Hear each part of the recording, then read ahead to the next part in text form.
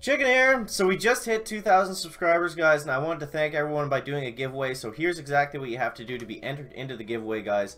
Uh, first, you have to follow me on Twitter. I want you to like and retweet this tweet here, and then of course subscribe to me on YouTube if you haven't already. Um, hit the bell icon that shows up there. Apparently, like that's good for getting notifications or something. I don't really understand how it works, but uh, apparently you need to do that. And uh, and then I want you to comment down below with just some some sort of goofy like chicken hashtag that I'm always throwing out here. Uh, just get creative with it, like the the goofier the better. So thank you everyone, and that's what you have to do. Uh, I'm gonna do five giveaways, and what the giveaway actually is is what I should have said before. Is uh, it's it's one of the boom tubes. And this is the thing that I did uh, an unboxing of, uh, but like a couple months ago or whatever. I'll have a link to uh, to that video in the description of this one, guys. So check that out. Do all that stuff if you're interested in the giveaway. Thanks, everyone. Let's go ahead and get into today's video. Back, back, back. Chicken here, bring you another Boom Beach video. In today's video, guys, we're to be taking on Gearhart War Factory.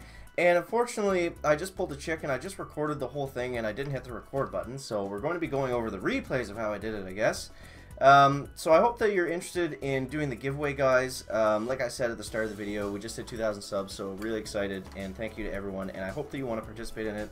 Uh, like I said, you get the boom tube and um, all that stuff that's in it. You get the shirt, you get the cards, you get all that all that fun stuff. So if you're interested in that, then definitely do all the stuff I said in the beginning of the video. And yeah, so my plan was for Gearhart today. It's it's a pretty tough layout. Uh, I've got the you got the rocket here, the doom cannons in the back, the shock launchers, machine guns, all the laser beams.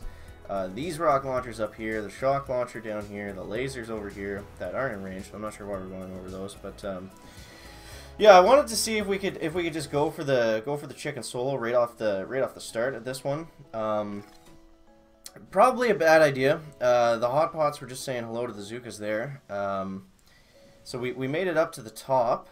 And here's what happened, guys. Here's what happened. We'll speed it up a little bit. And then we got up here.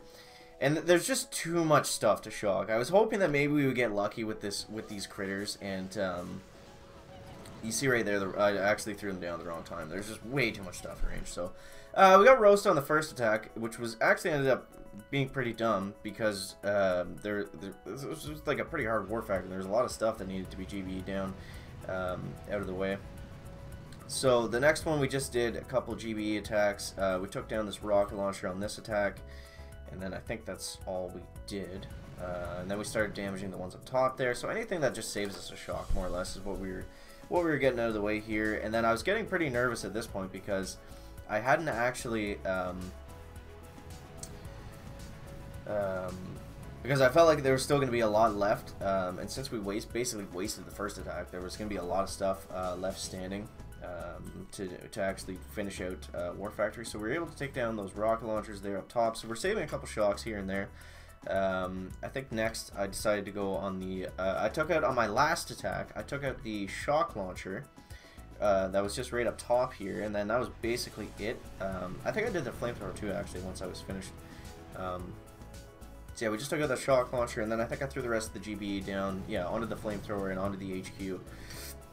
And, um, yeah, just to get some extra damage on the HQ. The, the flamethrower was going to be within what I was what I was shocking anyways, so it didn't really matter. Um, Alright, and then uh, here's the last time. Here's the last time. We'll play this in normal speed here. Um, so, I wasn't planning on it, but the way I put my Zookas down, I was actually able to take out this crate, which was kind of good, I guess. Uh, some free GB on the way. Um, it, I would say not to follow this flare line that I used, because I kept getting so close those friggin' hot pots. Um, I think usually you just flare once all the way to the back, right, and then it's fine. Um, rather than doing it in two flare spots. It's just when when I have the extra GBE for it, then it's just an easier way of doing it for me.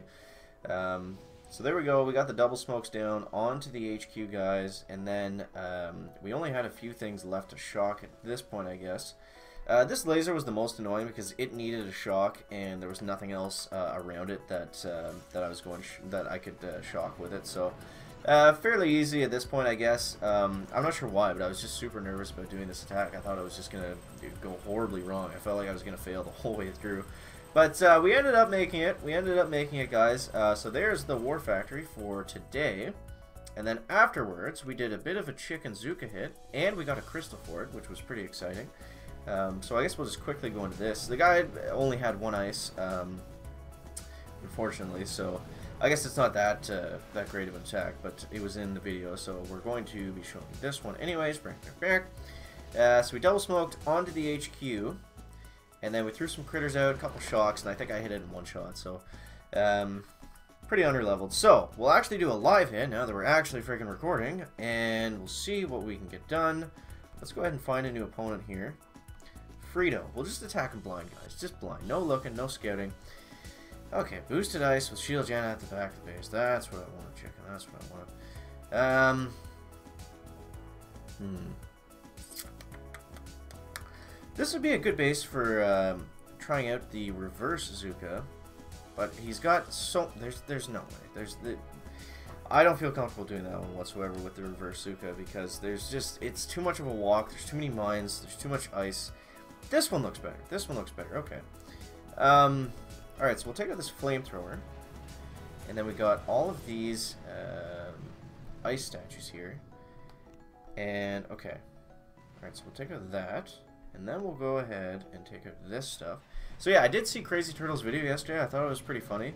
Um, hopefully we can actually do that uh, that challenge relatively soon. I know with with Mr. Uh, with Mr. Tortoise, it'll probably be around like 2019 before we ever actually do the the challenge and get the video and stuff all all together. But uh, regardless of when it happens, it's gonna be a lot of fun. So definitely looking forward to that.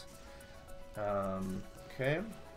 All right, so we're just we let the shock launcher hit us there just to um, just to wake the Zookas up a little bit. You know, they they fire a little faster when they're scared.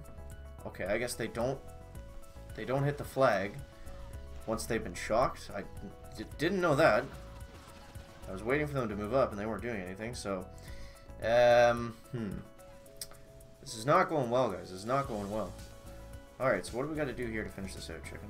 Uh, we'll throw some critters there. Back, back, back. Um, can we finish this out, guys? Can we finish this out? Uh, doesn't look like we're going to have the...